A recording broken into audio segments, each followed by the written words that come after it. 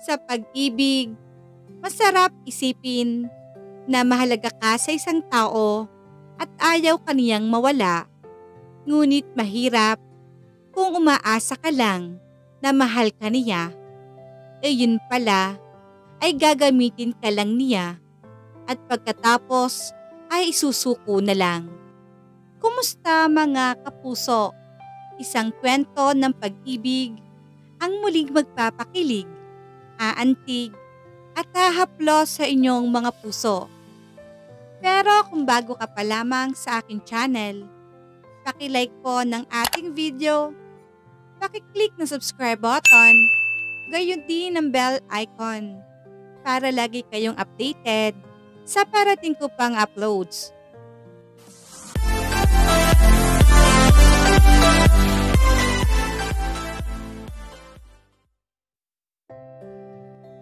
Kinalma ni Alex ang sarili. Ang totoo ay gusto niya maghurmentado. Pambihira naman. Panira talaga ng kaligayahan si Manolo. Hindi na ba ito nasihan? Naiwan siya nito at kalimutan. Ni wala nga siyang narinig na kahit ano dito. Kung kailan nakatagpo na siya ng pagnanasahan niya, ay kasaka naman ito muling susulpot at sisirain ang magandang future niya. Wrong timing talaga ito kahit kailan, panira ng kaligayahan. Nasaan siya?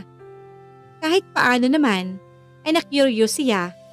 Ano naman na kaya ng ex-boyfriend niya para basta na lamang sumulpot matapos ang isang milenyo.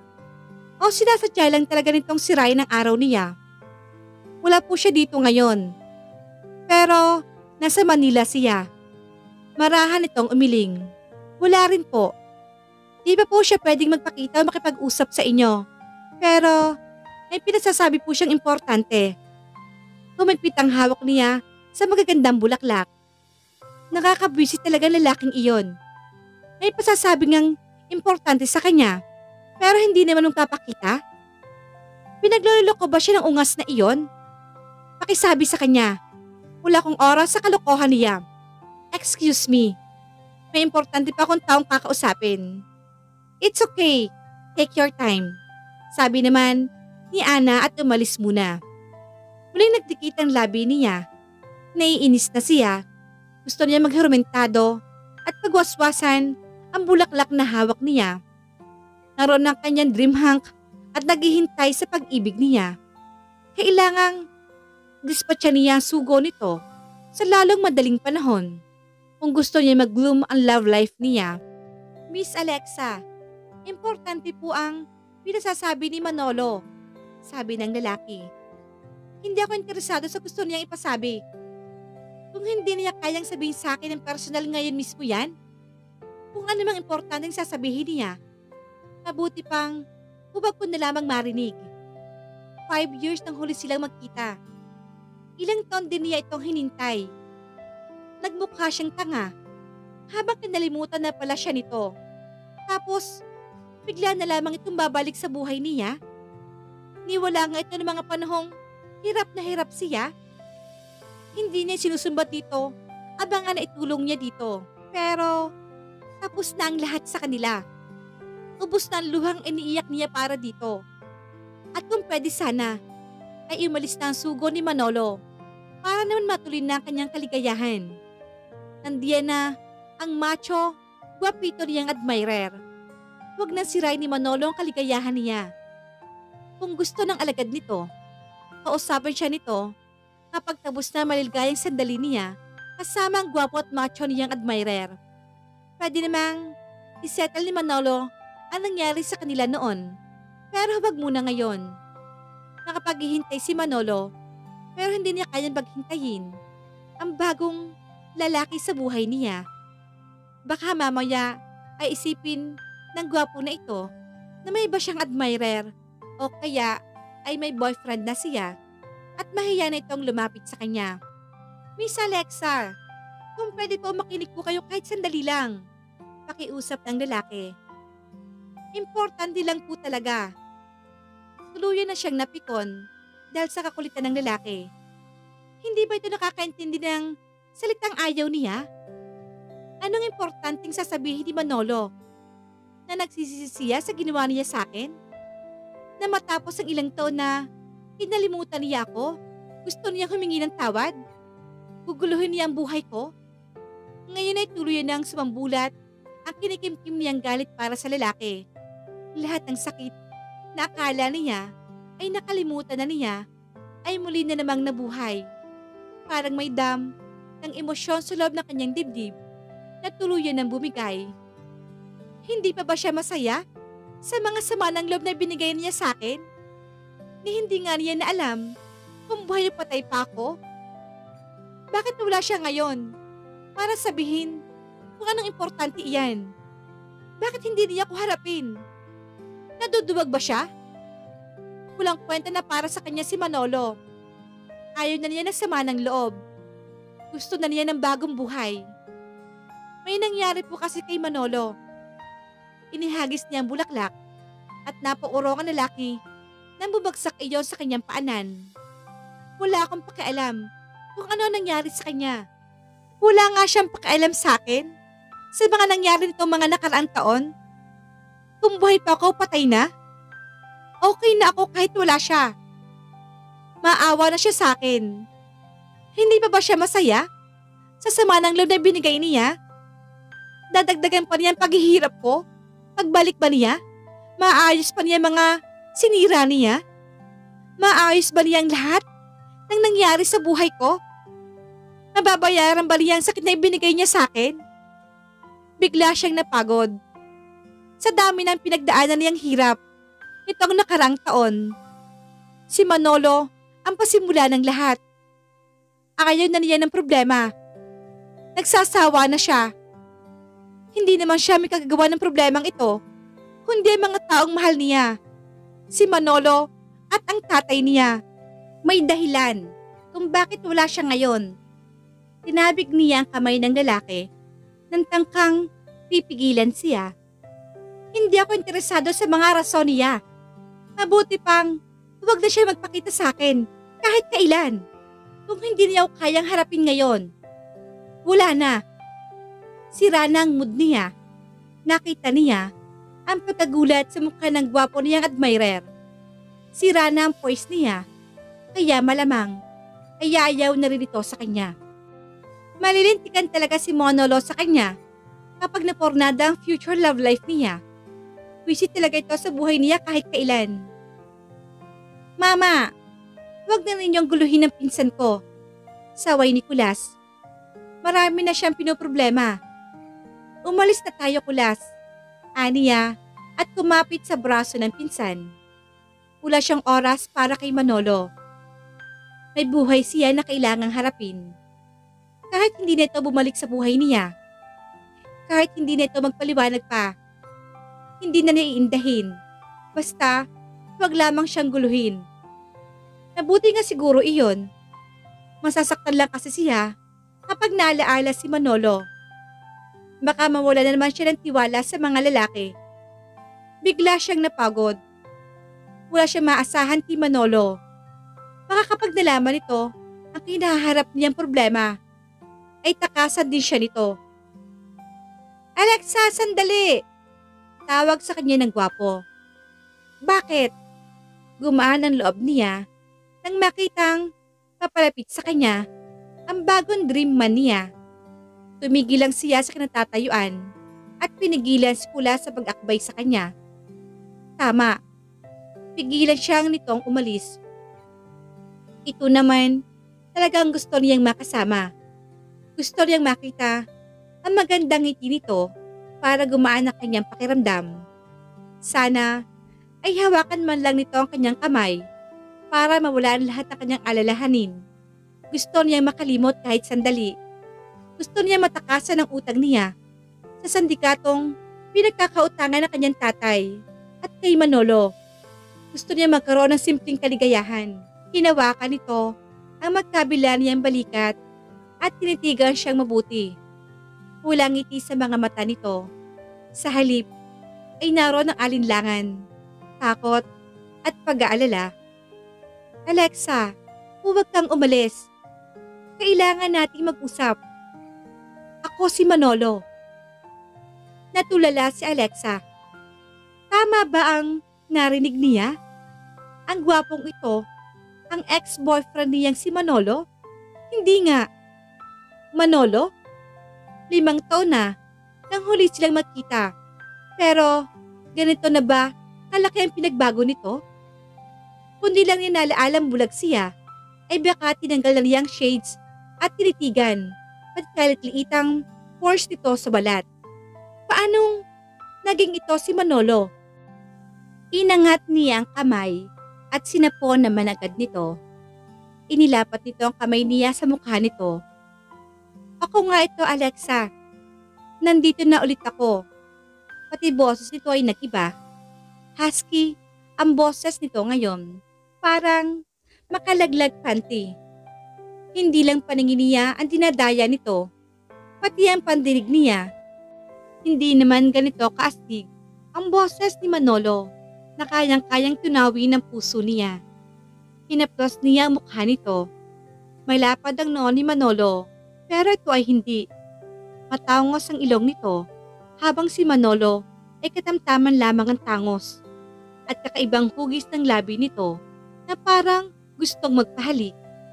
Mas matangkad itong di hamak kay Manolo.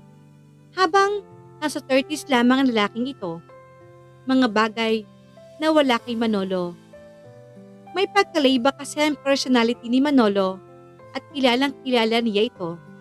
Sa bawat ngiti nito, naroon ang naitatagong lungkot dahil sa pinagdaanan nitong hirap sa buhay. Hindi niya makita ang hirap na iyon sa lalaking ito. Parang may aral ito at di sanay sa hirap. Kapag gumingiti ito ay puro ang mga ngiti. Hindi guarded na parang natatakot itong malaman ng ibang tao ang madilim nitong nakaraan na kinahihiya nito. Kung ano nararamdaman ng lalaking iyon, iyon ang pinakikita. He was pure. Napakalaki ng pagkakaiba ng mga ito at napakapuro rin ng nararamdaman niya para kay Manolo. Noong nobyo pa niya ito, hindi sila nagpapadala sa mampusok nilang damdamin. Alam nila ang linya ng isa't isa. Naroon pa rin ang respeto. Naisip niya na din nito kinayang tukso sa ibang bansa dahil wala naman silang mataas na pisikal na relasyon. Hindi katulad sa lalaking ito. Nawawala ang professionalism niya oras na maghubad na ito sa kanyang harapan.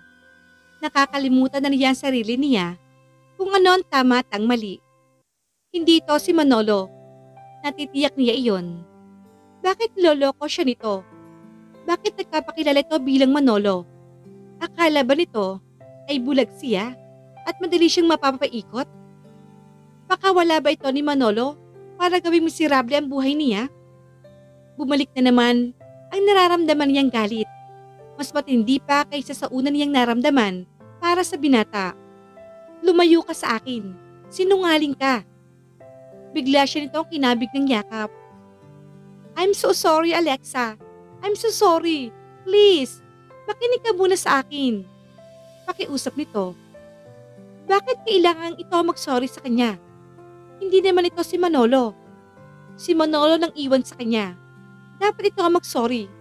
At hindi ang mabangong gwapong lalaking yumayakap sa kanya. Ayoko, manluloko ka. Subalit, hindi niya magawang kumawala dito at manlaban. Ano bang nangyayari sa kanya? Dapat ay magalit siya. Dapat nga ay Ipakalkad niya sa gwardya ang lalaking ito. Manluloko na nga ito, hinaharas pa siya. Nang hihina na siya, hindi na niya kayang lumaban pa. Hindi naman kasi dito nakadirekta ang galit niya, kundi kay Manolo. Si Manolo ang manluloko at handa siyang patawarin ng lalaking ito basta umamin lang sa kanya na hindi ito si Manolo. Hinikpitan pa nito ang yakap sa kanya at kinintala ng halikang noon niya. I am really sorry. Alam kong malaki ang kasalanan ko sa'yo. Hindi madali para sa'yo ang patawarin ako. Iniwan kita at hindi na ako bumalik pa. Duwag talaga si Manolo. Hindi ba nito kayang sabihin sa kanya ang mga sinasabi ng gwapong lalaking ito ngayon? Kaya ibang inutusan niya? Natatakot ba itong ibuhos niya ang galit dahil sa mga kasalanan niya rito? At akala ba ni Manolo ay may in love siya kapag nagsugo ito sa lalaking masarap yumakap? Katulad ng lalaking ito, nagbago na ang isip niya. Hindi siya may in love dito. Hindi rin siya may in love sa nagpapanggap na Manolo. Kung wala na siya kahit anong interes kay Manolo, katawan lang habol niya dito. Sisinghutin lamang niya ang lahat na bango nito at pipisili ng muscles nito. Gusto nito magpanggap?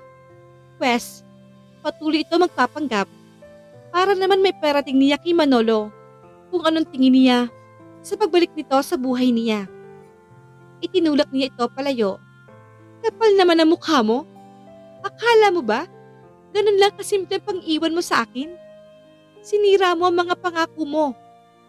Madami akong isinakripisyo para matupad mo ang pangarap mo. Tapos basta ka na lamang maglalaho? Ilang taon akong nagbukhang tanga na naghihintay sa iyong pagbabalik. Inintindi kita. Kahit nang mamatay ang nanay ko, hindi ka man lamang nagparamdam. Mas inalala ko pa rin ang kalagayan mo. Pero ikaw, hindi mo man lamang inalam kung ano nangyari sa akin. Nabulag ako, pero wala kang pakialam. Wala kang alam kung anong pinagdadaanan ko ngayon. Lahat ba iyan? May itama mo? Hindi na niya mapigilang umiyak. Ayaw na niyang alalahanin ang mga nakaraang taon. Ayaw na niyang umiyak pa sana. At di na ipakikita sa lalaking ito kung gaano kalaking sakit ay binigay ni Manolo sa kanya. Na kahit anong gawin niyang paglimot, nasasaktan pa rin siya. Hindi siya dapat tumaranas ng ganitong hirap. Kung naging responsable lang sana mga taong mahal niya. Kung sana inisip man lang ng tatay niya ang pwedeng mangyari sa kanya bago ito malulong sa sugal. Kung sana lang tinupad ni Manolo ang pangako nito, di sana hindi siya naghihirap ng ganito. Alexa, malaki ang pagkakamaling nagawa ko sa'yo. Binaliwala kita sa loob ng mahabang panahon. Hinintay mo pa rin ako. Wala ako sa tabi mo ng panahong kailangan kailangan mo ako. Kaya gusto kong bigyan mo ako ng pagkakataon para makabawi sa'yo, please. Nako, kundi lang talaga ito gwapo. Nilamukos na niya ang mukha nito. Kung ito sana mag-o-offer ng tulong sa kanya, malugod niyang tatanggapin na may kasamang yakap at halik. Pero hindi bilang si Manolo. Hindi na siya interesado pa kay Manolo. Kahit siguro magtambling ito sa harapan niya para mapatawad niya ay wala na siyang pakialam. Ayaw na niyang umasa sa mga pangako nito. Malamang ay mabibigo lamang siya. Saka paano naman niya ito pagkakatiwalaan? Ngayon pa lang, ay di na nito magawang humarap sa kanya at ibang tao ang pinahaharap nito. Bakit pa niya pagkakatiwala ng isang lalaking malinaw na naloloko sa kanya? Hindi na ako naniniwala sa'yo. I hate you. Tigilan mo na ako. Sinasayang mo lang ang pagkakataong ibinigay ko sa'yo. Kumapit siya sa braso ni Kulas. Umalis na tayo. Hindi na siya tatagal na makaharap ang nagpapanggap na si Manolo. Ayaw na niyang umiyak pa o sumama ang loob. Hinarangan siya ng lalaki nagbigay ng bulaklak sa kanya kanina. Miss Alexa, huwag po muna kayong umalis. Makinig pa po kayo. Kapag hindi mo ko tinigilan, hahambalusin kita. Anito, at saka inamba ang walking stick niya. Nakausap ko na si Manolo. Pwede bang tantanan na ninyo ako. Huwag na ninyo akong susundan. O di kaya, ipadadampot ko kayo sa mga pulis. Buisit! Buisit talagang manolong iyon. Bakit kasi basta lamang susulpot sa buhay niya? Kung kailan, parang umuokay na ang lahat. Hinubad ni Alex ang sapatos sa sobrang inis at nagyapak sa bus. Kung nasa sariling bahay nga lang siya, ay baka inihagis na niya iyon sa inis kumaladkad sa pisa niya sa kagustuhan niya makaalis agad ng Sky Garden Restaurant upang takasan ng gwapong nagpapanggap na Manolo. Pero hindi sa lalaking iyon nakafocus ang galit niya, kundi kay Manolo mismo. Alam ba nito kung gaano kalaking gulo ang ginawa nito sa buhay niya? Ayos na sana. Hinayaan ulit niya ang sarili niya na mag-ilusyon at mangarap na posibleng may isang gwapong prinsipe ang mag-aalis ang lungkot sa kanyang buhay. Nakita na niya ang dream niya. Para lang malaman na pakawala ito ni Manolo. Nalaman siguro ni Manolo na bulag siya at lalo ito na konsensya sa pinaggagawa sa kanya. Pero dahil takot ito, ay ibang kinuha nito na ani at sasalubong sa lahat ng galit niya para dito. Hindi porket bulag siya, ay mauuto na siya nito at mapapaikot. Saan ba nito napulot ang gwapong lalaking iyon? He was way better than Manolo. Mukha mas edukado. Hindi lumaki sa magulong buhay katulad ng lalaking si Manolo. Nambanggitin nga ito sa kanya ng kanyang kapitbahay. Parang may sinasabi ito sa buhay. Paano naging utusan ni Manolo ang lalaking ito? Ganon na ba kayaman si Manolo? Ang gwapong visit na Maria ate. Nakangiting sabi ni Kulas na parang nangangarap. Talaga bang ex-boyfriend bang isang iyon? Wala siyang taste nung kabataan niya. Ah, ganon. Nakataas ang kilay niya. Gusto niya ipukpok sa noon ng pinsan niya ang takong ng sapatos niya. Ibig sabihin, pangit ako at di kami bagay ng gwapong lalaki kanina? Anong gwapong lalaki lang? Ex-boyfriend mo nga iyon. Si Manolo. Sinapo ni Tom Pisngi. Kaya pala, hindi ka makaget over sa kanya. Kaso OA din naman ang drama mo kanina ate. Umagsena ka sa restaurant. Mabuti na lang, malayo tayo sa ibang tao. Kung hindi, pinagpiyastahan ka na nila na parang teleserye mong drama kanina. Na-depress siya nang malaala ang nangyari kanina.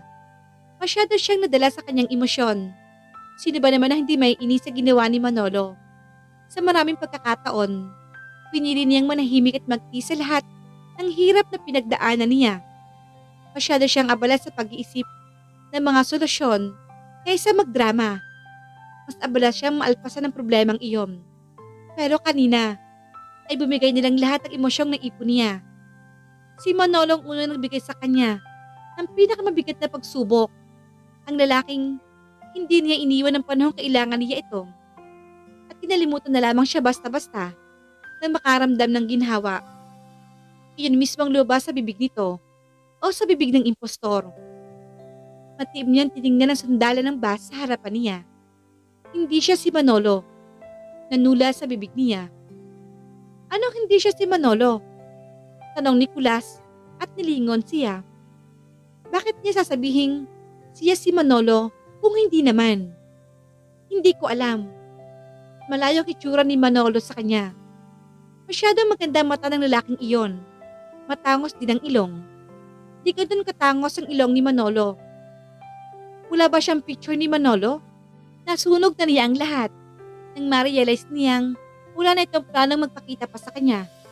Ibinasura na niyang lahat iyon. Hindi na yun nakita ng pisa niya o kahit panibam. May pagka-boyish ang pagkapuha ni Manolo ayon sa huling picture nitong pinadala sa kanya. Tatong taon na nakakaraan. Mas naging gwapo naman talaga si Manolo kaysa nang huli sila nakita. Pero imposibleng maging ganito ito kagwapo ngayon. Kinalabit ng pisa niya ang balikat niya. Hindi kaya nagparitoke siya? Mahina siyang tumawa. Nagparitoke? Bakit naman siya magpapaplastic surgery? Hindi naman siya masamang tao. Ate, uso sa burg ang plastic surgery. Sabi mo, isang sikat na singer sa ibang bansa naging amo niya. Malay mo, iyon ang gusto ng amo niya, na maging mas gwapo siya sa harap ng maraming tao. Malay mo, paraan niya yun para mas tumaas ang kanyang posisyon sa kanyang trabaho, saka para lumaki ang sweldo at makakuha ng babaeng mas mayaman at mas maganda kaysa sa akin.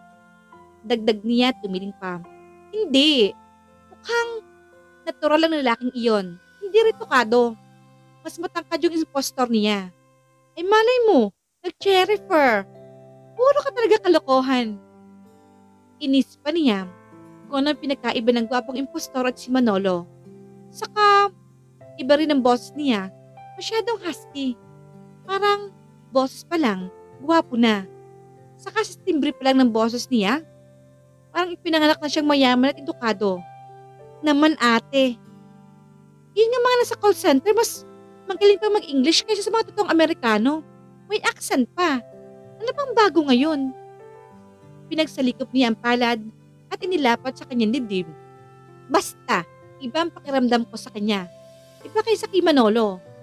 At kung siya talaga si Manolo, malalaman ko kagad. Kung aalisin niya ang galit niya kay Manolo, masyado pa rin inosente ang nararamdaman niya. Hindi katulad sa impostor nito. Kayang-kaya siyang pakiligin ng lalaking iyon sa simpleng tingin nito. Habang minamahal niya si Manolo noon, dahil bata pa lang ay magkasama na sila. Hindi nito napapagnasahan ng todo. Masyado silang komportable sa isa't isa.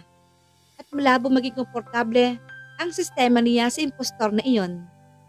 Naligalig nito ang mundo niya. Kaya nitong pabilisin ang tibok ng puso niya. May isip nga lamang niya ito ay parang nababaliw siya at hindi niya ay nararamdaman ng kabaliwang iyon kay Manolo. Nainggit nga ako nang yakapin ka niya kanina ate. Gusto ko rin mayakap siya kanina. Ani to at sinapo ang pisngi. Pinampal niya ang noon nito. Huwag ka nang magulo. May masyado kang madamot. Gusto mong suluhin lang ang biyaya ng Diyos? Saka, ano ngayon kung nagkapanggap lang siyang ex-boyfriend mo?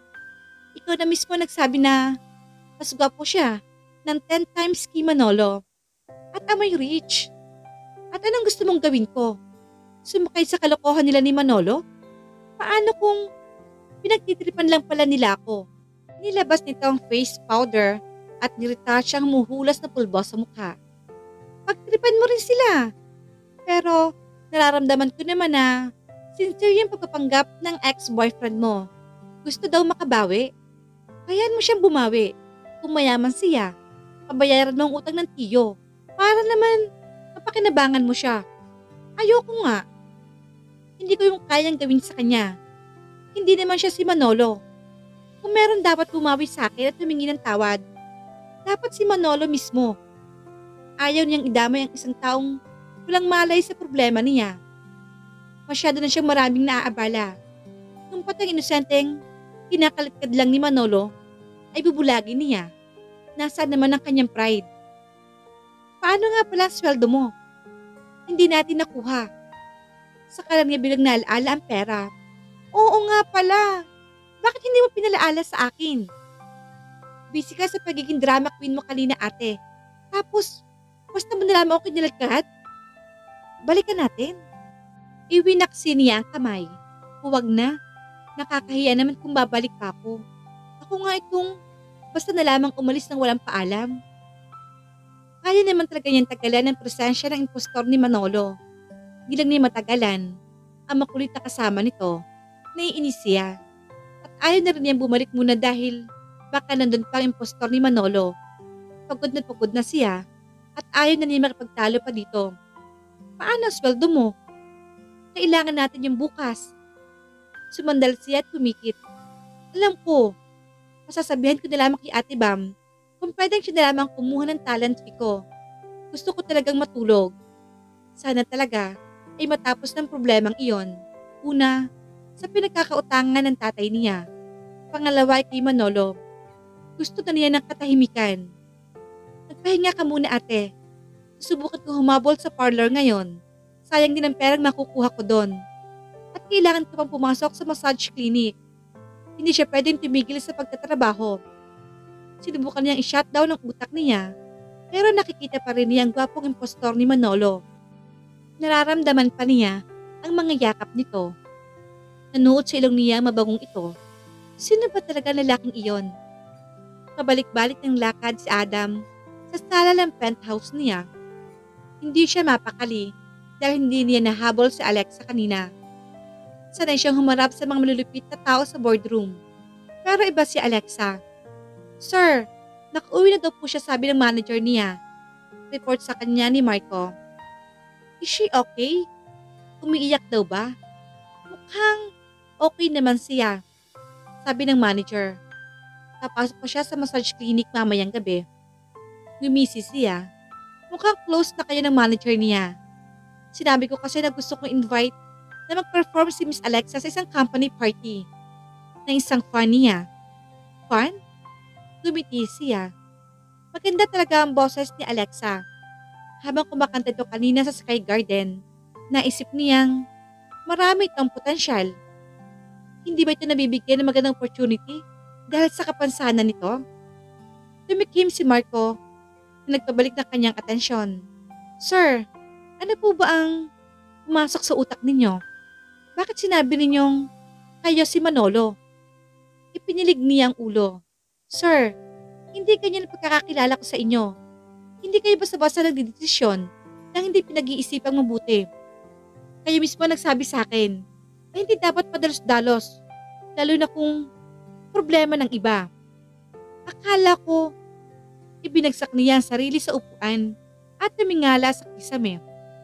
Hanggang ngayon, ay naguguluhan pa rin siya kung bakit niya iyon ginawa. Ginawa ko lang iyon dahil hindi natin maiharap si Manolo. May sakit siya. Ayaw namang makinig ni Alexa kung hindi ko yun gagawin. Paano ko pa magagawa ang pakiusap sa akin ni Manolo? Paano ko masasabi ang mga mensahe nito sa kanya? Naiintindahan naman niya ang galit ni Alexa kay Manolo. Alam na niya ang hirap na pinagdaanan nito pero parang hindi lang simpleng paghihirap ang nakuha nito. Naroon ang sakit.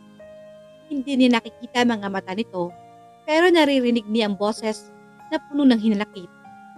Parang sinasaksak siya habang pinakikinggan niya iyon kanina. Iniwan nito ng nobyo nito at hindi na binalikan pa. Namatayan nito ng ina at nawala ng paningin. Ayaw man itong marinig na kahit ano tungkol kay Manolo. Pero hindi ibig sabihin ay kalilimutan na niya ang pangako niya. Lumalala na ang kalagayan ni Manolo. Ano ba naman ang simpleng pabor na magagawa niya para dito? Sana sinabi niyo na lamang sir ang totoo na naaksidente si Manolo at baka hindi na makabalik dito. Baka di na sila magkita. Hindi mo na kailangan magpanggap. No. Bumibigat ang kanyang dibdib tuwing iniisip ang gagawin sana niyang pagkatapat kay Alexa. Iyon naman ang original niyang plano. Kaya siya nasa Sky Garden. Pero nagbago ang isip niya nang umiyak si Alexa at ikumpusal nitong lahat ang hinakit ito sa buhay. Hindi ko siya kayang saktan, Marco. Marami na siyang pinagdaanan para dagdagan ko pa. Mas masakit kapag nalaman niya hindi nababalik si Manolo. Baka mawalan siya ng pag-asa. At least, nakahingi ng tawad si Manolo sa pamamagitan ko at kung ano man ang problema niya, pwede ko siya matulungan bilang Manolo. Una ang paningin nito. Sabi nito, ay pwede pang bumalik ang kanyang paningin. Kailangan niyang i-arrange iyon sa lalong madaling panahon. Dahil siya kay Manolo, sir. Hindi siya tatanggap ng tulong galing sa inyo. Mawawala din iyon kapag naramdaman niyang sincere ako. Ma-appreciate din niya ang presensya ko. Ang mahalaga, hindi ako mawala sa kanyang tabi. Pumalatak si Marco. Hindi siya katulad ng ibang babae, sir. Masyado siyang mabalasik. Wala nga siyang nakikita. Pero may pangil naman. Napakatatag niya. Yun ang nakikita ko sa kanya. Hindi ni mapigilang umiti nang makita kung paano to sindakin si Marco kanina. Isa lang kinatatakutan ni Marco.